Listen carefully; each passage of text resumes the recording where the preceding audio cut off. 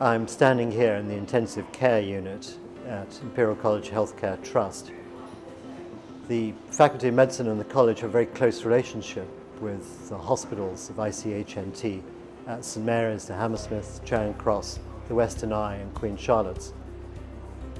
We've created an academic health science centre, a partnership closely between the college and the hospitals in order to facilitate the translation of our discoveries in science into the patients attending the hospitals. In order to drive this, the engine of our AHSC is our Biomedical Research Centre.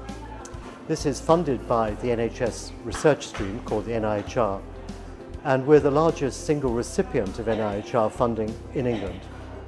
Through our BRC, we have the resource to take our discoveries, our new devices, diagnostics, and new chemicals or molecules to treat patients and move into the clinic in our patients in the hospital.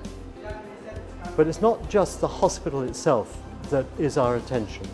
We also work across the whole community of healthcare across northwest London and we've established a partnership, Imperial Health Partners, of all 18 providers of healthcare across the 2.1 million people who live in northwest London. And through our partnership, we can disseminate the results of our research to the benefit of the entire population.